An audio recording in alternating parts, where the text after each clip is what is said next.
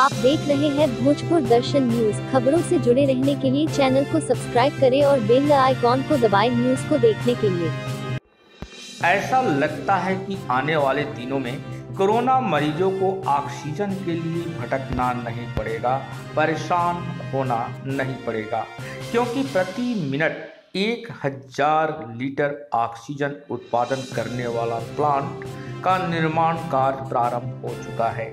जगदीशपुर में प्रधानमंत्री योजना के तहत ऑक्सीजन प्लांट लगाने के काम में प्रगति जारी है। इस इस संदर्भ में भोजपुर दर्शन के संवाददाता ने प्लांट निर्माण कार्य में लगे अधिकारियों से बातचीत की और मुआयना किया कि किस प्रकार यह प्लांट कार्य करेगा।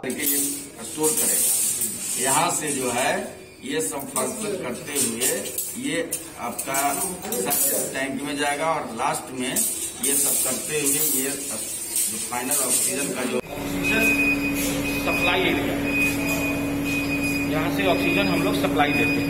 ठीक है? और ये जो इनका है, ये वैक्यूम सिस्टम है। जैसे बेड पर वैक्यूम मशीन हम लोग लगाते हैं, किसी का एस्पिरेशन वगैरह करने के लिए तो वो दूसरा चीज़ वो ऑक्सीजन बनाने का चीज़ नहीं है। इसके साथ साथ एक एडिशनल प्लांट भी लग रहा था जो बेड पर ऑक्सीजन भी सप्लाई करेगा और अगर वैक्यूम की ज़रूरत पड़ेगी तो वैक्यूम बनाएगा।